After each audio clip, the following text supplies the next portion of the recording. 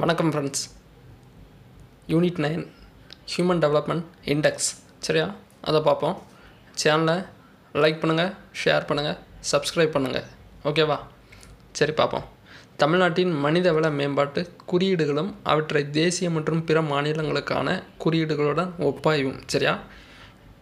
Human development indicators in Tamil Nadu and a comparative assessment across the country சரியா?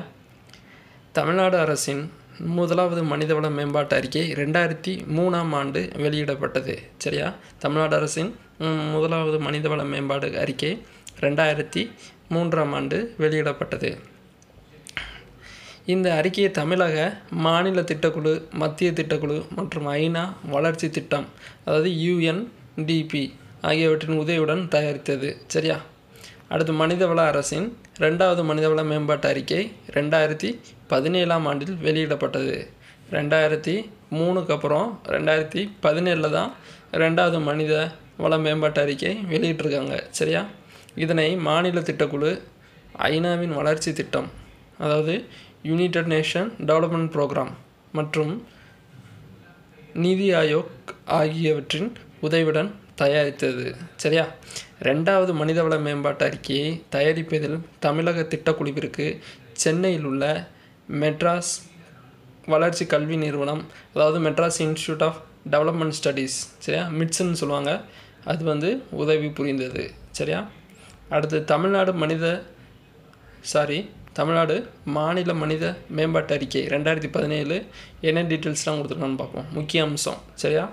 முக்கிய அம்சம் மாநில நிலவரம். தமிழகத்தில் மக்கள் தொகையில் மாற்றங்கள் என்ன நடந்திருக்குன்னு பார்ப்போம். தமிழ்நாட்டின் மொத்த மக்கள் தொகை எழுபத்தி ரெண்டு புள்ளி பதினாலு மில்லியன். அதாவது ஏழு புள்ளி இருபத்தொரு கோடி சரியா? கடந்த பத்தாண்டு கால வளர்ச்சி விகிதம் ரெண்டாயிரத்தி ஒன்று டு பதினொன்றில் பதினஞ்சு புள்ளி ஆறு பர்சன்ட்டும் ஆயிரத்தி தொள்ளாயிரத்தி தொண்ணூற்றி ஒன்று டு ரெண்டாயிரத்தி ஒன்று காலகட்டத்தில் பதினொன்று புள்ளி பத்தொம்போது பர்சன்ட்டுமா இருந்திருக்கு சரியா? கிட்டத்தட்ட ஒரு நாலு சம்திங் நாலு சம்திங் புள்ளி வளர்ந்துருக்கு. சரியா? அடுத்து பத்தாண்டு கால ரெண்டாயிரத்தி ஒன்று டு பதினொன்று கிராமப்புற மக்கள் தொகையில் மாறுதல் வந்து ஆறு புள்ளி நாற்பத்தொம்பது பர்சன்டாகவும் நகர மக்கள் தொகையில் இருபத்தி ஏழு புள்ளி பதினாறு பர்சன்டாகவும் இருந்தது. சரியா? அடுத்து பாலின விகிதாச்சாரம் பாருங்கள் ரெண்டாயிரத்தி ஒன்று ஆயிரத்தி ரெண்டாயிரத்தி ஒன்று தான் ஆயிரத்தி ஒன்றுன்னு மிஸ்டேக்கு ரெண்டாயிரத்தி ஒன்றில் தொள்ளாயிரத்தி எண்பத்தி ஏழிலிருந்து ரெண்டாயிரத்தி பதினொன்றில் தொள்ளாயிரத்தி தொண்ணூத்தஞ்சாக அதிகரித்தது. சரியா? பாலின விகிதம் இப்போது தொ- தொள்ளாயிரத்தி தொண்ணூத்தஞ்சு. சரியா? அதே சமயம் இந்த விகிதாச்சாரம் மொத்தமுள்ள முப்பத்தி ரெண்டு மாவட்டங்களில் பன்னெண்டு மொத்த மாவட்டம் இப்போ கூடிருச்சு. சரியா? இதில் முப்பத்தி ரெண்டு மாவட்டம்னு சொல்லியிருக்காங்க. பன்னெண்டு மாவட்டங்களில் சாதகமானதாக இல்லை. சரியா? அடுத்து ரெண்டாயிரத்தி பதினொன்று மக்கள் தொகை கணக்கெடுப்பின்படி மக்கள் தொகை நெருக்கம் ஒரு கிலோமீட்டருக்கு ஐநூற்றி ஐம்பத்தஞ்சு. இது தேசிய சராசரியான முந்நூற்றி எண்பத்தி ரெண்டை விட அதிகம். சரியா? தேசிய சராசரி முந்நூற்றி எண்பத்தி ரெண்டாம் அதை விட நம்ம தமிழ்நாட்டில் ஒரு சதுர கிலோமீட்டருக்கு ஐநூற்றம்பத்தஞ்சுன்னு நெருக்கம் மக்கள் தொகை நெருக்கம் போய்கிட்டுருக்கு உயர்ந்து போய்கிட்டுருக்கு. குடிசை பகுதிகளின் மக்கள் தொகை ரெண்டாயிரத்தி பதினொன்றில் ரெண்டு புள்ளி ஆறு மில்லியனாக இருந்தது. சரியா? குடிசை பகுதியில் மக்கள் தொகை வந்து ரெண்டாயிரத்தி பதினொன்றில் ரெண்டு புள்ளி ஆறு மில்லியன் இருந்திருக்கு. இது ஒட்டுமொத்த நகர மக்கள் தொகையில் முப்பத்தி நாலு புள்ளி தொண்ணூறு மில்லியன் அதாவது எட்டு சதவீதம் ஆகும். குறைந்த கல்வி அறிவு கொண்டுள்ள மாவட்டம் வந்து தருமபுரி. சரியா? அடுத்து பொருளாதாரத்தை பாருங்கள் ரெண்டாயிரத்தி பதிமூணு டு பதினாலில் பதிவான மொத்த உள்நாட்டு உற்பத்தி வளர்ச்சி சதவீதம் வந்து ஏழு புள்ளி இருபத்தொம்போது பர்சன்ட் சரியா? ரெண்டாயிரத்தி பதிமூணு டு பதினாலில் பதிவான மொத்த உள்நாட்டு உற்பத்தி வளர்ச்சி சதவீதத்தில் ஏழு புள்ளி இருபத்தொம்போது சதவீதம். அடுத்து ரெண்டாயிரத்தி நாலு டு அஞ்சில் விவசாயம் மற்றும் அது தொடர்பான தொழில்கள் மூலம் மாநிலத்தின் வருவாய்க்கான பங்களிப்பு பதினொன்று புள்ளி அறுபத்தஞ்சாக இருந்தது. இது ரெண்டாயிரத்தி பதினொன்று டு பன்னெண்டில் எட்டு புள்ளி ஏழு பர்சன்டாக குறைந்தது. சரியா? அடுத்து ரெண்டாயிரத்தி பதினொன்று டு பன்னெண்டாம் ஆண்டில் நிகர உள்நாட்டு உற்பத்தியில் தொழில்துறை இருபத்தி ஏழு புள்ளி தொண்ணூத்தோரு விழுக்காடு பங்களித்து இதில் உற்பத்தி துறையின் பங்களிப்பு மட்டுமே பதினேழரை பர்சன்ட் சரியா? அதாவது ரெண்டாயிரத்தி பதினொன்று பதினொன்று பன்னெண்டில் நிகர உள்நாட்டு உற்பத்தியில் தொழில்துறை வந்து இருபத்தி ஏழு புள்ளி தொண்ணூத்தொரு விழுக்காடு பங்களிச்சிருக்கு. இதில் உற்பத்தி துறையோட பங்களிப்பு மட்டும் கிட்டத்தட்ட பதினேழரை பர்சன்ட் சரியா? ஏறக்குறைய தொண்ணூற்றி ரெண்டு பர்சன்ட் சிறு மற்றும் குறு விவசாய பிரிவைச் சேர்ந்தவர்களாக இருக்கின்றனர். பயிரிடும் பரப்பு ஆயிரத்தி தொள்ளாயிரத்தி ஐம்பதில் ஐம்பத்தாறு புள்ளி முப்பத்தெட்டு லட்சம் ஹெக்டர்கள் இருந்தது. மெதுவாக குறைந்து ரெண்டாயிரத்தி எட்டு டு ரெண்டாயிரத்தி ஒம்போதில் ஐம்பது புள்ளி நாற்பத்தி மூணு லட்சம் ஹெக்டராகவும் ரெண்டாயிரத்தி பதினொன்று டு பன்னெண்டில் நாற்பத்தி ஒம்பது புள்ளி அறுபத்தஞ்சு லட்சம் ஹெக்டராக ஆனது. சரியா? விவசாய நிலம் அழிந்துட்டு வருதுன்னு சொல்கிறாங்க அதே போல் ரெண்டாயிரத்தி ஏழு டு எட்டாம் ஆண்டில் இருபத்தொன்று புள்ளி அறுபத்தொம்போது லட்சம் ஹெக்டர் நிலம் விவசாயம் சாராத பயன்பாட்டிற்காக என்றிருந்தது. அது அதிகரித்து ரெண்டாயிரத்தி எட்டு டு ஒம்போதில் இருபத்தொன்று புள்ளி எழுபத்தி மூணு லட்சம் ஹெக்டரா நிலமும் ரெண்டாயிரத்தி பதினொன்று டு பன்னெண்டில் இருபத்தொன்று புள்ளி எண்பது லட்சம் ஹெக்டர் என்று உயர்ந்துள்ளது. சரியா? ஆனாலும் ரெண்டாயிரத்தி பதிமூணு டு பதினாலாம் ஆண்டில் மாநில அளவிலான விளைச்சல் ரெண்டாயிரத் சாரி பத்து புள்ளி முப்பத்தி மூணு மில்லியன் மெட்ரிக் டன்கள் அளவுக்கு உணவுப் பொருள் உற்பத்தி இருந்தது. அது இது அதற்கு முந்தைய ஆண்டின் விளைச்சலை விட புள்ளி பதினாறு மெட்ரிக் டன் அதிகம். சரியா? விவசாய நிலம் குறைஞ்சாலும் உற்பத்தி கூடியிருக்குன்னு சொல்கிறாங்க அடுத்து மனிதவள மேம்பாட்டு நிலை மாவட்ட அளவிலே பல வகைப்பட்ட மனித மேம்பாட்டு குறியீட்டன் கடை கணக்கிடப்படுகிறது. சரியா? மாவட்ட அளவிலே பல வகைப்பட்ட மனித மேம்பாட்டு குறியீட்டன் கணக்கிடப்படுகிறது. மனித மேம்பாட்டு அட்டவணை என்பது நலமாக இருக்க தேவையான கல்வி ஆரோக்கியம் வருவாய் ஆகிய மைய பரிமாணங்களின் அளவீடுகள் தான் மரபு ரீதியிலான மனித மேம்பாட்டு அம்சங்களுடன் துல்லியமான புரிதலுக்காக பிற குறியீடுகளுடன் இணைக்கப்பட்ட கணக்கீடு செய்யப்படுகிறது. அதாவது மனித மேம்பாட்டு அட்டவணை என்பது நலமாக இருக்க தேவையான கல்வி ஆரோக்கியம் வருவாய் ஆகிய மைய அதாவது அதோட இந்த கல்வி ஆரோக்கியம் வருவாய் தான் முக்கியமானது சரியா? அதை வந்து அளக்குறாங்க. ப்ளஸ் மரபு ரீதியிலான மனித மேம்பாட்டு அம்சங்களுடன் துல்லியமான புரிதலுக்காக பிற குறியீடுகளுடன் இணைக்கப்பட்டு கணக்கீடு செய்யப்படுகிறது. பாலின சமமின்மை குறியீட்டு அட்டவணை பாலின வேறுபாட்டால் உருவாகக்கூடிய பிரச்சனைகளை பற்றி அறிந்து கொள்ளவும் தேவையான வளர்ச்சி சார்ந்த தலையீடுகள் குறித்து முடிவு செய்யவும் பயன்படுகிறது. அதாவது பாலின சமமின்மை குறியீட்டு அட்டவணை வந்து எதுக்கெல்லாம் யூஸ் ஆகுதுன்னா பாலின வேறுபாட்டால் உருவாகக்கூடிய பிரச்சனைகள் புரிதா பற்றி அறிந்து கொள்ளவும் தேவையான வளர்ச்சி சார்ந்த தலையீடுகளை குறித்து முடிவு செய்யவும் பயன்படுகிறது. சரியா? குழந்தை மேம்பாட்டு குறியீடு வந்து அதோட அந்த அட்டவணையின் அம்சங்களாக கல்வி ஆரோக்கியம் மற்றும் ஊட்டச்சத்து நிலை போன்றவை எடுத்துக்கொள்ளப்படுகின்றன பல்பரிமாண வறுமை குறியீட்டு அட்டவணை என்பது அடிப்படை வசதியிலான குடிநீர் எரிபொருள் கழிப்பிட வசதி போன்றவைகளை பெறுவதில் சிரமங்கள் உள்ளதா என்பதை அறிந்து கொள்வதற்கானது இவற்றை பெற முடியாமல் போனால் நல்வாழ்வு சாத்தியமில்லை. புரியுதா? அதை எழுதலாம் அடிப்படை வசதிகளான குடிநீர் எரிபொருள் கழிப்பிட வசதி. இதில் பெறுவதில் சிரமங்கள் இருக்கான்னு பார்ப்பாங்க. இது பெறலைன்னா ஒரு நல்வாழ்வு சாத்தியமில்லை சரியா? உணவு பாதுகாப்பு குறியீட்டு அட்டவணையில் உணவு உற்பத்தி மற்றும் விநியோகம் ஆகிய இரண்டையும் பற்றியும் அறிந்து கொள்ளுதல் தவிர பயன்படும் உணவின் ஊட்டச்சத்து குறித்தும் விவரம் இருக்கும் சரியா?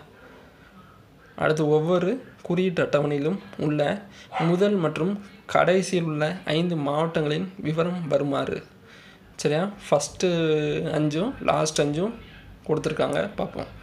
மனித மேம்பாட்டு குறியீட்டு அட்டவணை ஹியூமன் டெவலப்மெண்ட் இண்டெக்ஸ் முதல் நிலையில் இருக்கும் ஐந்து மாவட்டங்கள் பாருங்கள் கன்னியாகுமரி புள்ளி தொள்ளாயிரத்தி புள்ளி ஒம்பது நாலு நாளோட ஃபஸ்ட் ரேங்கில் இருக்குது விருதுநகர் புள்ளி எட்டு அஞ்சு அஞ்சு ஓட செகண்ட் ரேங்கு தூத்துக்குடி புள்ளி எட்டு அஞ்சு ரெண்டு ஓட மூணாவது ரேங்கில் இருக்குது சென்னை புள்ளி எட்டு நாலு ஏழோட நாலாவது ரேங்கு காஞ்சிபுரம் புள்ளி எட்டு நாலு அஞ்சோட அஞ்சாவது ரேங்கில் இருக்குது சரியா? கடைநிலையில் இருக்கும் ஐந்து மாவட்டங்கள் பாருங்கள் திருவாரூர் புள்ளி அஞ்சு ஆறு எட்டு இருபத்தெட்டாவது ரேங்க்லையும் விழுப்புரம் புள்ளி அஞ்சு ஆறு ஒன்றோட இருபத்தொம்போது ரேங்கு தேனி வந்து புள்ளி அஞ்சு மூணு ஒம்போதோட முப்பதாவது ரேங்கு பெரம்பலூர் வந்து புள்ளி நாலு நாலு ஏழோட முப்பத்தோராவது ரேங்க்லையும் அரியலூர் புள்ளி ரெண்டு எட்டு ரெண்டோட முப்பத்தி ரெண்டாவது இடத்துலையும் இருக்குது சரியா? அடுத்து பாலின சமமின்மை குறியீடு. பாலின சமமின்மை குறியீடு பாருங்கள் ஜெண்டர் இன்வால் இன்இக்வாலிட்டி இண்டெக்ஸ் வந்து என்ன சொல்லியிருக்காங்கன்னா முதல் நிலையில் இருக்கும் ஐந்து மாவட்டங்கள். என்னெல்லாம் பார்ப்போம். நீலகிரியில் வந்து புள்ளி ஜீரோ முப் மூன்று சி ஆறோட ஃபஸ்ட் ரேங்க்லையும் விருதுநகர் வந்து புள்ளி ஜீரோ நாலு எட்டோட செகண்ட் ரேங்கு வேலூரில் வந்து ஜீரோ அஞ்சு ஒன்றோட புள்ளி ஜீரோ அஞ்சு ஒன்றோட மூணாவது ரேங்கு நாமக்கல் வந்து ஜீரோ சாரி புள்ளி ஜீரோ அஞ்சு நாளோட நாலாவது ரேங்கு பெரம்பலூர் வந்து புள்ளி ஜீரோ அஞ்சு ஏழோட ஐந்தாவது இடத்துலையும். அடுத்து கடைநிலையில் இருக்கும் ஐந்து மாவட்டங்கள் பாருங்கள் சென்னை வந்து புள்ளி ஒன்று ஒன்று ஒன்றோட இருபத்தெட்டாவது ரேங்கில் எது? ஜெண்டர் இன்இக்வாலிட்டி இண்டெக்ஸில் சென்னை இருபத்தெட்டாவது இடம் பெறுது. விழுப்புரம் மதுரை புள்ளி ஒன்று ஒன்று ரெண்டோட இருபத்தொம்போதாவது இடம். விழுப்புரம் வந்து ஒன்று ஒன்று மூணு புள்ளி ஒன்று ஒன்று மூணோட மு முப்பதாவது இடம். சிவகங்கை வந்து புள்ளி ஒன்று ஒன்று நாலோட முப்பத்தோராவது இடம்.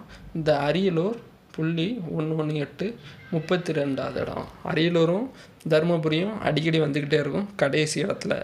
இந்த கன்னியாகுமரி நீலகிரி இதெல்லாம் ஃபஸ்ட் இடத்துல அடிக்கடி வந்துகிட்ருக்கோம் சரியா?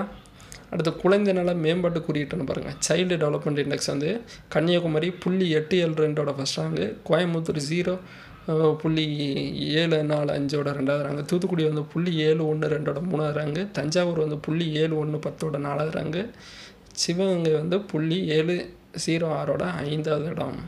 அடுத்து லாஸ்ட்டு ஃபைவ் பாருங்கள் ராமநாதபுரம் இருபத்தெட்டாவது இடம். பெற்றிருக்க புள்ளி வந்து புள்ளி அஞ்சு ரெண்டு எட்டு. புள்ளி கூட மேக்ஸிமம் கேட்க மாட்டாங்க. இடம் தான் கேட்பாங்க. சரியா? வேலூர் வந்து இருபத்தொம்போதாவது இடம். புள்ளி அஞ்சு ரெண்டு மூணு. கிருஷ்ணகிரி புள்ளி நாலு ஏழு நாலோட முப்பதாவது இடம். திருவண்ணாமலை புள்ளி நாலு ரெண்டு ஆறோட முப்பத்தோராவது இடம். அரியலூர் வந்து புள்ளி நாலு ஒன்று பத் ஜீரோவோட முப்பத்தி ரெண்டாவது இடம்.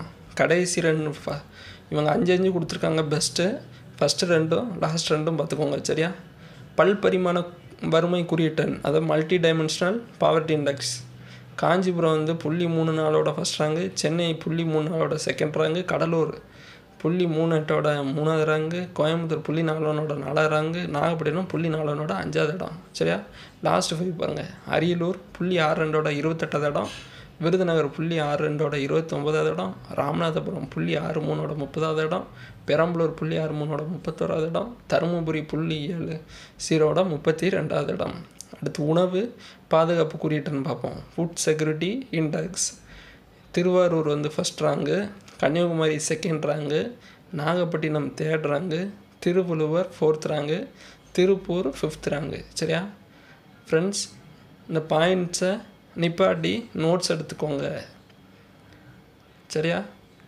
பாயிண்ட்ஸை வீடியோ பாஸ் பண்ணிவிட்டு நோட்ஸ் எடுத்துக்கோங்க.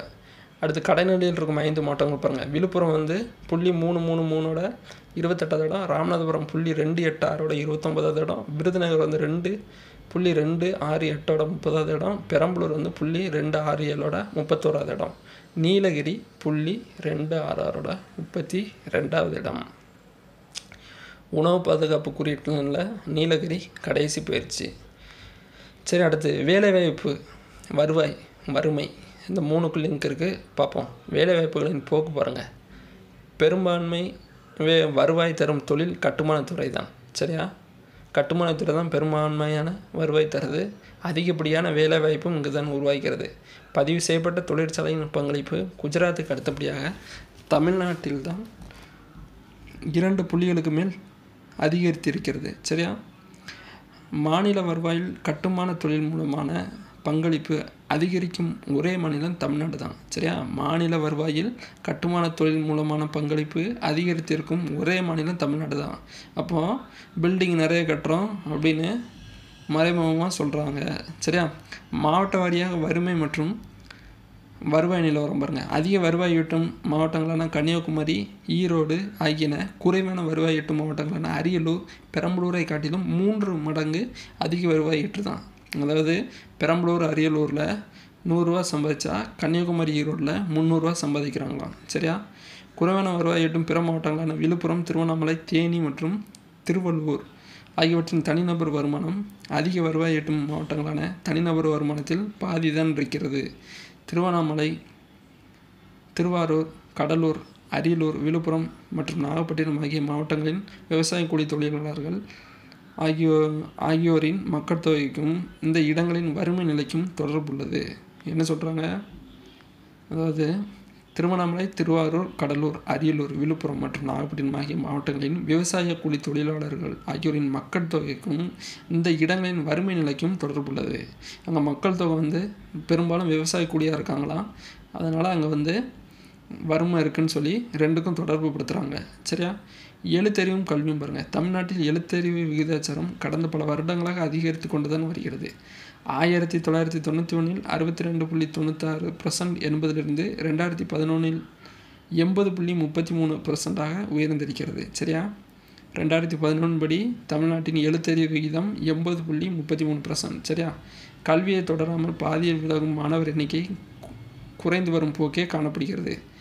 பட்டினியில் சாரி பட்டியல் இனப்பிரிவு மாணவர்கள் பாதியில் விலகுவது ஒப்பீட்டளவில் குறைவான விகிதாச்சாரத்தில் உள்ளது. கல்வியை தொடராமல் நிற்பது குறைந்ததற்கு காரணம் மாநில அரசின் பல்வேறு நலத்திட்டங்கள் என்று கூறலாம். மாநில அரசோட ஸ்காலர்ஷிப்பு மதிய உணவு திட்டம் இது போன்றது வந்து மாணவர்களுக்கு ஒரு ஊட்டமாக இருக்குன்னு சொல்ல வராங்க. இலவச மடிக்கணினி இலவச ட்ரெஸ்ஸு பேக்கு ஷூ மாணவ மாணவியர் மற்றும் அனைத்து வகை பிரிவினர் ஆகியோர் கல்வியை முடிப்பது மற்றும் மறுமுயற்சி செய்வது ஆகியன மேம்பட்டுள்ளன. சரியா? மாணவ மாணவியர் மற்றும் அனைத்து வகை பிரிவினர் ஆகியோர் கல்வியை முடிப்பது மற்றும் மறுமுயற்சி செய்வதாகின மேம்பட்டுள்ளன உள்கட்டமைப்பு பள்ளியின் தரம் ஆகியவற்றோடு அதன் வி விளைவும் அதாவது தேர்ச்சி பெறுபவர்களின் விகிதம் நன்கு வளர்ச்சி பெற்றிருப்பது பிற காரணங்கள். உயர்கல்வி பாருங்கள் ரெண்டாயிரத்தி பதிமூணு டு பதினாலில் உயர்கல்வி பயில சேர்பவர்களின் விழுக்காடு நாற்பத்தி மூணு பர்சன்ட் சரியா? நாற்பத்தி மூணு பர்சன்ட் பேர் ரெண்டாயிரத்தி பதிமூணு டு பதினாலில் உயர்கல்வி பயில சேர்ந்திருக்காங்க. சரியா? தமிழ்நாடு தான் இந்தியாவின் மற்ற மாநிலங்களை காட்டிலும் பல்கலைக்கழகங்கள் தொழில்நுட்ப பல்கலைக்கழகங்கள் கல்லூரிகள் ஆகியவற்றின் எண்ணிக்கையில் முதலிடம் பெற்றுள்ளது. ஆமாம் ஏகப்பட்ட ப்ரைவேட் காலேஜஸ் கவர்மெண்ட் காலேஜஸ் மாவட்டத்துக்கு ஒரு மெடிக்கல் காலேஜ்னு தமிழ்நாடு யூனிவர்சிட்டி டெக்னிக்கல் யூனிவர்சிட்டி மற்ற காலேஜில் ஃபஸ்ட்டாக இருக்குதுன்னு சொல்ல வராங்க. இது பெரும்பாலானவை அரசு உதவி பெறாத கல்லூரிகள் ப்ரைவேட் கல்லூரி சரியா? இவை மாநிலத்தின் அனைத்து கல்லூரிகளின் எண்ணிக்கையில் எண்பத்தி எட்டு புள்ளி அஞ்சு பர்சன்ட் இருக்கா? அதாவது எண்பத்தெட்டு புள்ளி அஞ்சு பர்சன்ட் ப்ரைவேட் காலேஜ் தான் இருக்குதுன்னு சொல்ல வராங்க. ரெண்டாயிரத்தி ஒன்று டு பதினொன்று ஆண்டு காலகட்டத்தில் தொழில்நுட்ப கல்வி மிகப்பெரிய அளவில் விரிவாக்கம் செய்யப்பட்டது. மாநில திறன் வளர்ச்சி திட்டம் அதாவது தமிழ்நாடு எஸ்டிஎம் என்ற அமைப்பு தான் பன்னெண்டாம் வகுப்பு படித்தவர்களுக்கான திறன் வளர்ச்சி திட்டத்தை செயலாக்கும் ஒரே மு முகமையாக விளங்குகிறது. பயிற்சி நிறுவனங்களுக்கு தகுதி சான்று வழங்குவதும் இந்த அமைப்பு தான் சரியா? அடுத்து நலவாழ்வு பாருங்கள் நலவாழ்வு ஊட்டச்சத்து பொது சுகாதாரம் மற்றும் மருத்துவ வசதி அளித்தல் ஆகியவற்றுக்கான நிதி ஒதுக்கீடு அதிகரித்து கொண்டே இருக்கிறது. ஆயிரத்தி தொண்ணூற்றி தொண்ணூத்தொன்று டு தொண்ணூற்றி ரெண்டாம் ஆண்டில் ரூபாய் நானூற்றி பத்து கோடியாக இருந்தது. ரெண்டாயிரத்தி பதினஞ்சு டு பதினாறில் ரூபாய் எட்டாயிரத்தி இரநூத்தி நாற்பத்தஞ்சு புள்ளி நாற்பத்தோரு கோடியாக அதிகரித்துள்ளது. நிதி ஒதுக்கீட்டில் கிட்டத்தட்ட நாற்பது பர்சன்ட் ஆரம்ப சுகாதாரத்திற்கு செலவிடப்படுகிறது. நிதி ஒதுக்கீட்டில் கிட்டத்தட்ட நாற்பது பர்சன்ட் ஆரம்ப சுகாதாரத்திற்காக செலவிடப்படுகிறதாம். என்ஹெச் ஆர்ஏஎம் கீழ் ஒதுக்கப்படும் நிதி ஒதுக்கீட்டில் இந்திய அரசாங்கம் அளிப்பது தொண்ணூத்தஞ்சு பர்சன்ட்டுக்கும் மேலாக தொடர்ந்து பயன்படுத்தப்பட்டு வருகிறது. சரியா? அடுத்து பாருங்கள் சுகாதாரத்திற்கான உட்கட்டமைப்பு உருவாக்குவதில் சிறப்பான முன்னேற்றம் காணப்பட்டிருக்கிறது. பழங்குடியினர் வசிக்கும் பகுதிகளில் டோஃபே டோஃபே ஆரம்ப சுகாதார நிலையம் நடமாடும் மருத்துவ மையங்கள் ஆகியன செயல்படுகின்றன. ரெண்டாயிரம் ஆண்டில் அறுநூற்றி அறுபது பொது சுகாதார மையங்கள் அரசுக்கு சொந்தமான கட்டிடங்களில் செயல்பட்டன. இது ரெண்டாயிரத்தி அஞ்சில் ஆயிரத்தி முந்நூற்றி அறுபது கட்டிடங்கள் ரெண்டாயிரத்தி பதினஞ்சில் ஆயிரத்தி ஐநூற்றி அறுபத்தி நாலு கட்டிடங்கள் என்று விரிவடைந்திருக்கிறது. மாநில சுகாதார ஒழுங்கமைப்பு திட்டத்தின் கீழ் மத்திய தர மருத்துவமனைகளின் தகுதி நிலை மேம்பாட்டு பணி மேற்கொள்ளப்படுகிறது. குழந்தை பிறப்பிற்கு அரசு மருத்துவமனைகளின் பயன்பாடு குறிப்பிடத்தக்க அளவு அதிகரித்துள்ளது. குழந்தை பிறப்பிற்கு அரசு மருத்துவமனைகளின் பயன்பாடு வந்து குறிப்பிடத்தக்க அளவு அதிகரிச்சிருக்குன்னு சொல்கிறாங்க ஆயிரத்தி தொண்ணூற்றி தொண்ணூற்றி ரெண்டு சாரி ஆயிரத்தி தொள்ளாயிரத்தி தொண்ணூற்றி ரெண்டு டு தொண்ணூற்றி மூணாம் ஆண்டு காலகத்தில் அறுபத்தி நாலு என்று இருந்த குழந்தை பிறப்பு ரெண்டாயிரத்தி அஞ்சில் தொண்ணூத்தெட்டு பர்சன்டாக உயர்ந்தது. அதிலும் குறிப்பாக PHC primary health centre CHC அளவில் இந்த நிலை உருவாக்கியுள்ளது அதாவது ஆரம்ப சுகாதார நிலையத்திலும் அடுத்து சிஹெச்சி இங்கேயும் இந்த நிலம் வந்து எட்டியிருக்குன்னு சொல்ல வராங்க. ஒட்டுமொத்தமாக பார்த்தால் ஏழை மக்களில் பெரும்பாலோர் பொது மருத்துவமனைகளை பயன்படுத்துவது அதிகரித்துள்ளது. புரியுதா? அடுத்து பாருங்கள் சுகாதார உட்கட்டமைப்பை மேம்படுத்த தமிழ்நாடு அரசு மருத்துவ பணி பொருள் கழகம் அதாவது தமிழ்நாடு மருத்துவ பணி பொருள் கழகம் பங்கு அதிகம். அரசு மருத்துவமனைகளுக்கு தேவையான சிடி ஸ்கேன் எம்ஆர்ஐ ஸ்கேன் மருந்து மருந்துகள் மற்றும் நோய் பகுப்பாய்வு வசதிகள் ஆகியவற்றை பெற்றுத்தருகிறது. அடுத்து மாநிலத்தின் சுகாதார ஐஎம்எஸ் பெருமளவில் வளர்ச்சி பெற்றது. சிகிச்சையின் தரம் குறிப்பாக நச்சு தொடர்பான சிகிச்சை நிர்வாகம் ஆகியவை மேம்படுவதற்கான முயற்சிகள் அவசியம்.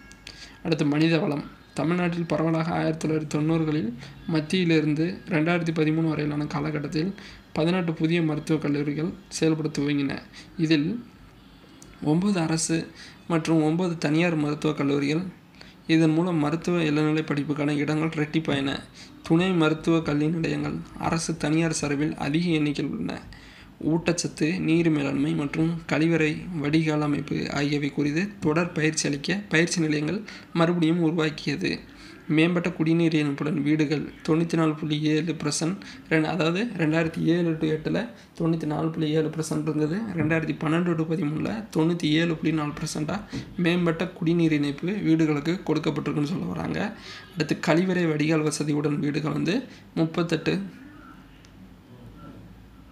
முப்பத்தெட்டு புள்ளி ஒம்பது பர்சன்ட் ரெண்டாயிரத்தி ஏழு டு எட்டும் ஐம்பத்தி ரெண்டு புள்ளி அஞ்சு அதாவது ரெண்டாயிரத்தி பன்னெண்டு டு பதிமூணில் கழி கழிவறை வடிகால் வசதியோட வீடுகள் இருக்குன்னு சொல்கிறாங்க பாலினம் பாருங்கள் குழந்தை பாலின விகிதாச்சாரம். கடைசியாக மேற்கொள்ளப்பட்ட மக்கள் தொகை கணக்கெடுப்பு பின் மாவட்டங்களில் குழந்தை பாலின விகிதாச்சாரத்தில் முன்னேற்றம் ஏற்பட்டு ஏற்பட்டுள்ளது தெரிய வந்துள்ளது சரியா? கடைசியாக மேற்கொள்ளப்பட்ட மக்கள் தொகை கணக்கெடுப்புனா ரெண்டாயிரத்தி ஒன்று டு சாரி ஆயிரத்தி தொள்ளாயிரத்தி தொண்ணூற்றி ஒன்று டு ரெண்டாயிரத்தி ஒன்று அதுக்கடுத்து ரெண்டாயிரத்தி ஒன்று டு ரெண்டாயிரத்தி பதினொன்றில் வந்து பாலின விகிதாச்சாரம் முன்னேற்றம் ஏற்பட்டு ஏற்பட்டிருக்குன்னு சொல்கிறாங்க இனிமே அடுத்த கணக்கெடுப்பு ரெண்டாயிரத்தி பதினொன்று டு ரெண்டாயிரத்தி இருபத்தொன்றுக்கு ரெண்டாயிரத்தி இருபத்தொன்னில் தான் எடுப்பாங்க. அனைத்திந்திய பாலின விகிதாச்சாரமான தொள்ளாயிரத்தி பத்தொம்போதை விட தமிழ்நாட்டின் ஆறு மாவட்டங்களில் குறைவாக உள்ளது. அனைத்து இந்திய பாலின விகிதம் வந்து எவ்வளோன்னா தொள்ளாயிரத்தி பத்தொம்போது ஆயிரத்துக்கு சரியா? ஆறு மாவட்டங்கள் மட்டும் தமிழ்நாட்டில் குறைவாக உள்ளதுன்னு சொல்கிறாங்க அது வந்து அரியலூர் கடலூர் தருமபுரி நாமக்கல் சேலம் மற்றும் பெரம்பலூர் சரியா?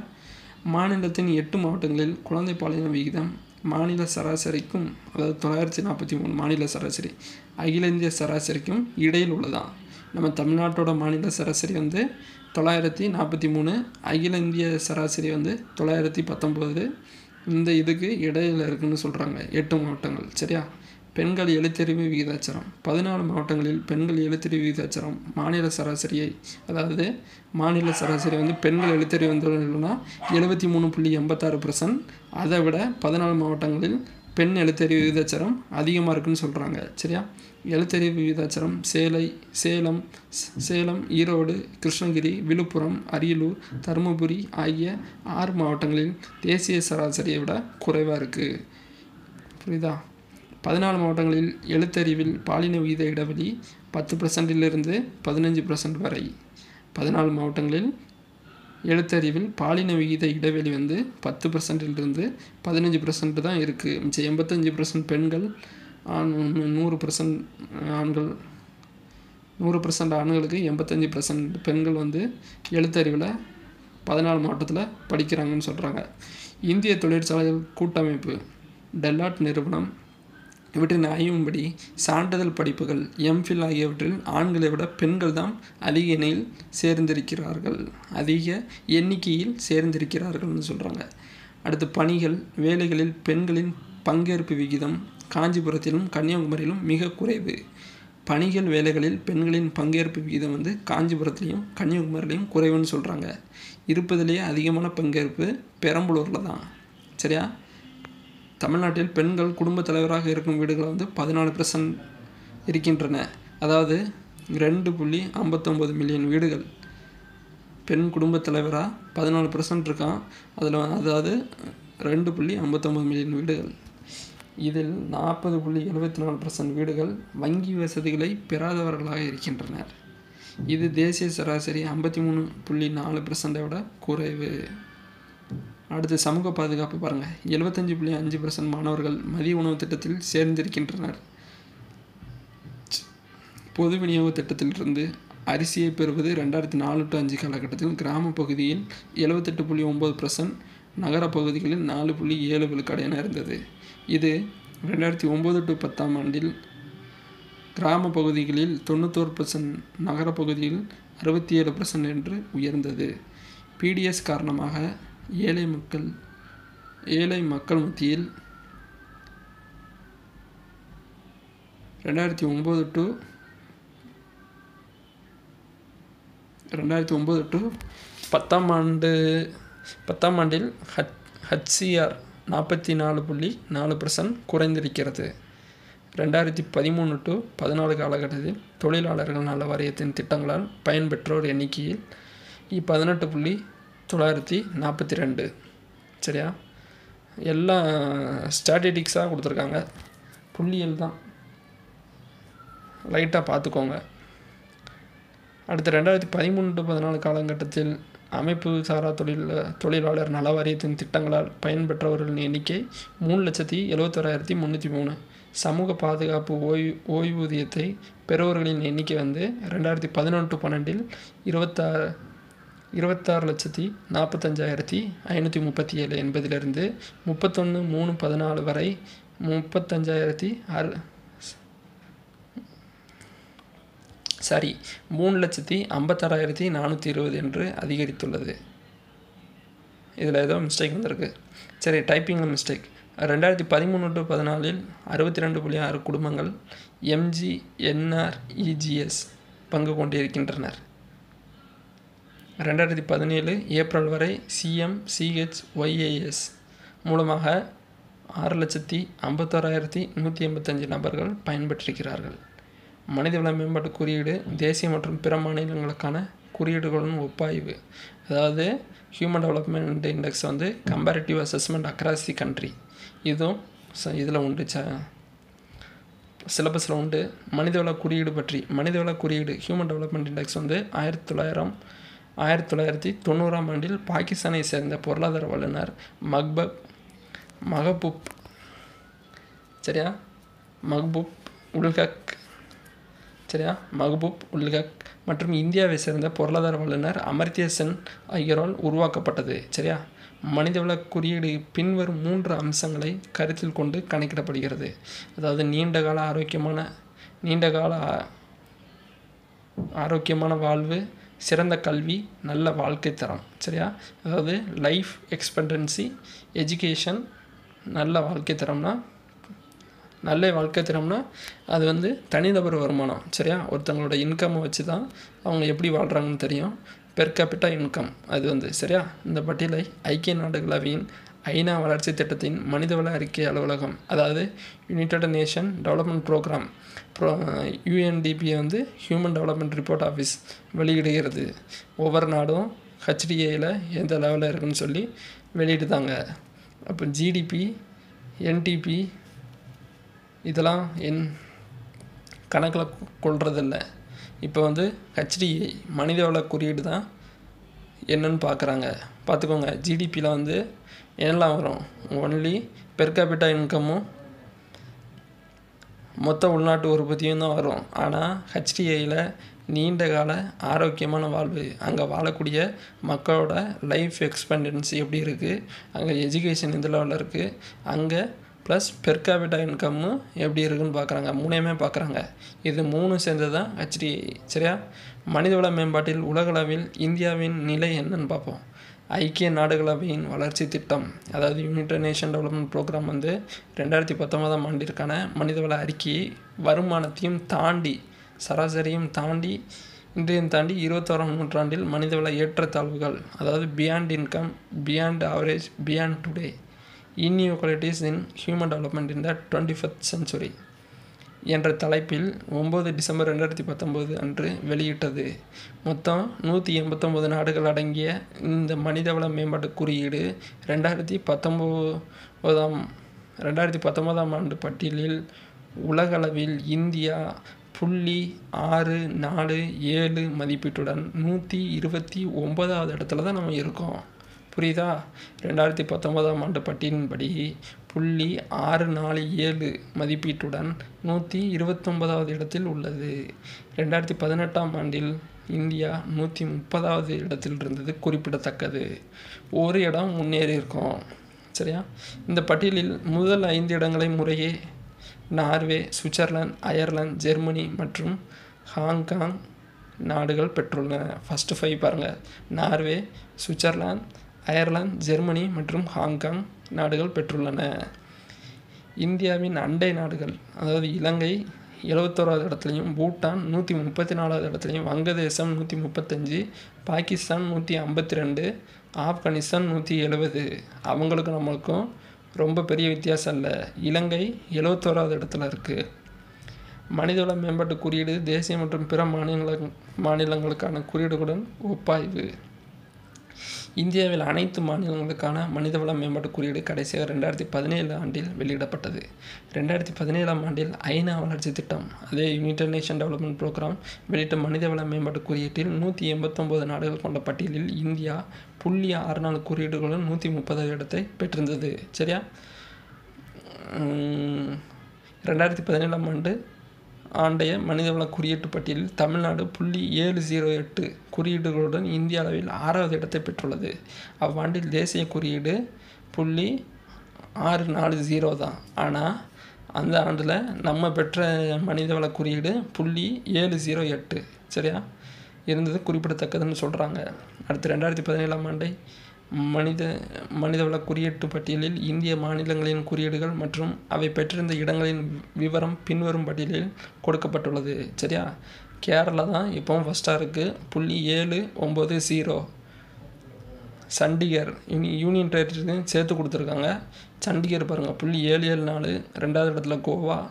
புள்ளி ஏழு ஆறு நாலு அடுத்து யூனியன் டெரிட்டரியில் ரெண்டாவது இடம் லக்ஷதீப்பு புள்ளி ஏழு நாலு ஒம்பது யூனியன் டெரிட்டரியில் மூணு டெல்லி புள்ளி ஏழு நாலு நாலு யூனியன் டெரிட்டரி நாலு அந்தமான் நிக்கோபார் வந்து புள்ளி ஏழு நாலு ரெண்டு யூனியன் டெரிட்டரி அஞ்சாவது இடம் வந்து புதுச்சேரி புள்ளி ஏழு மூணு ஒம்பது அடுத்து மூணாவது பஞ்சாப் ஏழு ரெண்டு ஒன்று புள்ளி ஹிமாச்சல் பிரதேஷ் புள்ளி ஏழு ரெண்டு ஜீரோ அடுத்து ஆறாவது இடம் சிக்கிம் புள்ளி ஏழு ஒன்று ஆறு அடுத்து ஆறு தமிழ்நாடு புள்ளி ஏழு ஜீரோ எட்டு.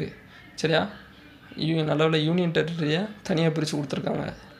நம்ம ஆறாவது இடத்துல இருக்கோம் ஸ்டேட் லெவலில் சரியா? யூனியன் டெரிட்டரி ஆறாவது வந்து டயனாண்டாமும் புள்ளி ஏழு ஜீரோ ஆறு. சரியா? அடுத்து கடைசி ஒரு அஞ்சு இடத்த பார்த்துக்கிடுவோம். தெலுங்கானா வந்து புள்ளி ஆறு ஆறு நாளோட பதினாறு இடத்துல இருக்குது அருணாச்சல் பிரதேஷ் வந்து புள்ளி ஆறு அஞ்சு எட்டோட பதினேழாவது இடத்துல இருக்குது பதினெட்டாவது இடத்துல திருப்பூர் இருக்குது சி சாரி திரு திருப்பூரா? திரிபுரா வந்து புள்ளி ஆறு அஞ்சு அஞ்சு இருக்குது பத்தொம்பது இடத்துல மேகாலயா புள்ளி ஆறு அஞ்சு ஜீரோ இருபது இடத்துல ஆந்திர பிரதேஷ் ஆறு புள்ளி ஆறு நாலு மூணு. அடுத்து அது இடையில இருக்குது. சாரி லாஸ்ட்டுன்னு சொல்லிட்டேன். லாஸ்ட் இடத்த பார்ப்போம். லாஸ்ட் அஞ்சு இடத்த. ஒடிசா புள்ளி அஞ்சு ஒம்பது ஏழு. மத்திய பிரதேஷ் புள்ளி அஞ்சு நாலு. அஞ்சு ஒம்பது நாலு. இருபத்தி ஏழாவது இடத்துல ஜார்க்கண்ட் புள்ளி அஞ்சு எட்டு ஒம்பது இருபத்தெட்டாவது இடத்துல உத்தரப்பிரதேஷ் புள்ளி அஞ்சு எட்டு மூணு இருபத்தொம்போதாவது இடத்துல பீகார் புள்ளி அஞ்சு ஆறு ஆறு. சரியா? சோர்ஸ் வந்து விக்கிபீடியாவில் எடுத்திருக்கதா சொல்லியிருக்காங்க. இந்தியா மொத்தத்தில் புள்ளி ஆறு மூணு ஒம்பது இது வந்து ரெண்டாயிரத்தி பதினெட்டு புடி சரியா? ரெண்டாயிரத்தி சாரி ரெண்டாயிரத்தி பதினேழு புடி சரியா? ரெண்டாயிரத்தி பதினேழு படி புள்ளி ஆறு மூணு ஒம்பது. அடுத்து தமிழ்நாடு மற்றும் அண்டை மாநிலங்களின் மனிதவள குறியீடுகளை பார்ப்போம். கேரளா வந்து புள்ளி ஏழு ஒம்பது ஜீரோ நம்ம தமிழ்நாடு வந்து ஆறாவது இடத்துல இருக்குது புள்ளி ஏழு ஜீரோ எட்டு. ஆனால் தென்னிந்தியா நம்ம அண்டை நாடை விட நம்ம செகண்ட் இடத்துல இருக்கோம். கர்நாடகா வந்து பன்னெண்டாவது இடத்துல இருக்குது புள்ளி ஆறு எட்டு ரெண்டு. பதினாறு இடத்துல தெலுங்கானா புள்ளி ஆறு ஆறு நாலு. இருபதாவது இடத்துல ஆந்திர பிரதேஷ் புள்ளி ஆறு நாலு மூணு. சரியா? அடுத்து தமிழக அரசின் தொலைநோக்கு திட்டம் பாருங்கள் ரெண்டாயிரத்தி இருபத்தி மூணு. தமிழக அரசோட தொலைநோக்கு திட்டம் ரெண்டாயிரத்தி இருபத்தி மூணு பாருங்கள் இது சமைச்சரில் இருக்கும். தமிழக அரசின் தொலைநோக்கு திட்டம் சமைச்சர் புக்கில் இருக்குது தமிழக அரசின் தொலைநோக்கு திட்டம் ரெண்டாயிரத்தி இருபத்தி மூணை முன்னாள் முதல்வர் செல்வி ஜெயலலிதா அவர்கள் இருபத்தி ரெண்டு மார்ச் ரெண்டாயிரத்தி பன்னெண்டில் வெளியிட்டார்.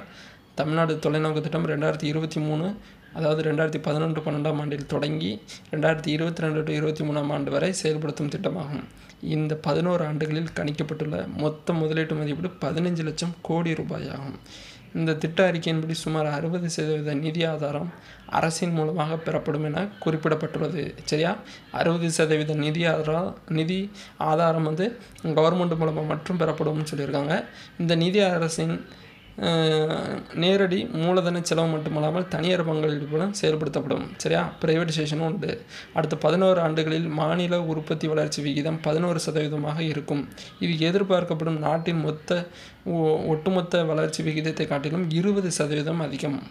சரியா அடுத்த பதினோரு ஆண்டுகளில் மக்கள் தொகை பதினஞ்சு சதவீதம் அதிகரித்திருக்கும். இந்த காலகட்டத்தில் தனிநபர் வருமானம் ஆறு மடங்கு உயர்ந்திருக்கும். அடுத்த பத்து ஆண்டுகளில் தமிழகத்தின் தனிநபர் வருமானம் ஆண்டுக்கு ஆறு மடங்கு உயர்ந்து நான்கு லட்சத்தி ஐம்பதாயிரம் ரூபாயாக உயரும். இதன் மூலம் வறுமை ஒழிக்கப்பட்ட மாநிலமாக தமிழகம் மாறும். புரியுதா? தொலைநோக்கு திட்டம் ரெண்டாயிரத்தி இருபத்தி மூணோட நோக்கங்கள். எதை நோக்கி போய்கிட்டு இருக்குன்னு பாருங்கள் ரெண்டாயிரத்தி இருபத்தி மூணாம் ஆண்டு தமிழகத்தில் உள்ள அனைத்து பொதுமக்களுக்கும் நூறு சதவீத சுகாதார வசதி பெற்றவர்களாக இருப்பர். திறந்தவழி கழிவறை திறந்தவழி கழிவறை இல்லாத நிலை உருவாக்கப்படும். குடிசைகள் இல்லாத தமிழகத்தை உருவாக்க இருபத்தஞ்சு லட்சம் வீடுகள் ஏழை மக்களுக்கு ஏழை மக்களுக்கு கட்டித்தரப்படும் அடுத்த பத்து ஆண்டுகளில் இருபதாயிரம் மெகாவாட் கூடுதலாக மின்சாரம் உற்பத்தி செய்யப்படும். தமிழக அரசின் தொலைநோக்கு திட்டம் ரெண்டாயிரத்தி இருபத்தி மூணு பத்து நோக்கங்களை அடிப்படையாக கொண்டு அமைக்கப்பட்டுள்ளது. அவை பின்வருமாறு. தமிழக அரசோட தொலைநோக்கு திட்டம் ரெண்டாயிரத்தி இருபத்தி மூணு. மொத்தம் பத்து நோக்கங்கள் இருக்குது அதை அதை அதை ரீட் பண்ணி பார்ப்போம். ரெண்டாயிரத்தி இருபத்தி மூணாம் ஆண்டில் இந்தியாவில் பொருளாதார ரீதியாக பலம் பெற்ற மாநிலமாக விளங்கும். தற்போதுள்ள தனிநபர் வருமானம் ஆறு மடமா ஆறு மடங்காக உயர்ந்து பதினோரு ஆண்டுகளில் உலகளவில் உயர் நடுத்தர வருமானம் கொண்ட நாடுகளுக்கு இணையாக இருக்கும். தமிழகம் உள்ளடக்கிய வளர்ச்சி விகிதத்தை வெளிப்படுத்தும் வறுமை இல்லாத மாநிலமாகவும் வேலைவாய்ப்பு வேண்டுவோருக்கு லாபகம் லாபமான வாய்ப்புகள் அளிக்கப்படும். சமூக வளர்ச்சியில் இந்தியாவின் முன்னணி மாநிலமாக தமிழகம் திகழும். இந்தியாவில் உள்ள மாநிலங்களிலே அதிக மனிதவள குறியீடு கொண்ட மாநிலமாக தமிழகம் திகழும்.